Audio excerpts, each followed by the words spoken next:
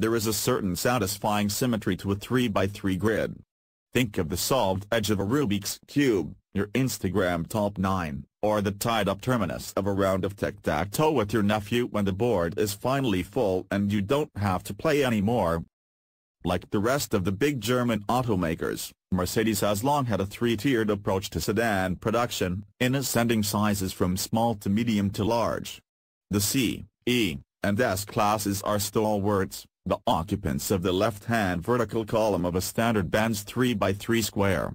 But the brand has recently been busy proliferating its car lineup in an almost metastatic way, filling in the rest of the boxes in this four-door slash two-door slash convertible matrix. Now it is finally releasing the vehicle that occupies the middle of the middle, the middle row of the middle column. And any Hollywood Squares fan knows you can twin the game without the center square. This car is the 2018 Mercedes-Benz E-Class Coupe, which will join its sedan brother this summer. A new convertible will join the lineup later this year. The simple answer to what differentiates this car from its sibling is that it lacks rear doors, as well as the barriers between the front and rear windows and any framing surrounding them.